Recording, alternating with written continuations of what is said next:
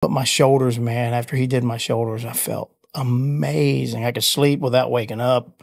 And it, it was amazing. I was like, goodness gracious, they worked really well. And in my right knee's my right knee's pretty pretty good.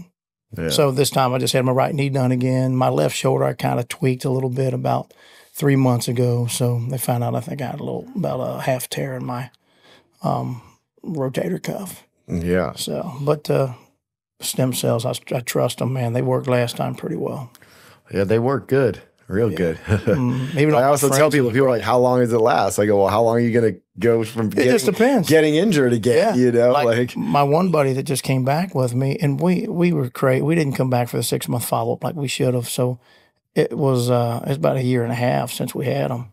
His shoulders are still amazing. Of course, I kind of hurt my left one, so it start all over again. You know, training but, um, jitsu, buddy. yeah, I You gotta, but he uh, he's fine. Like he's just got the intravenous in his in his you know arm.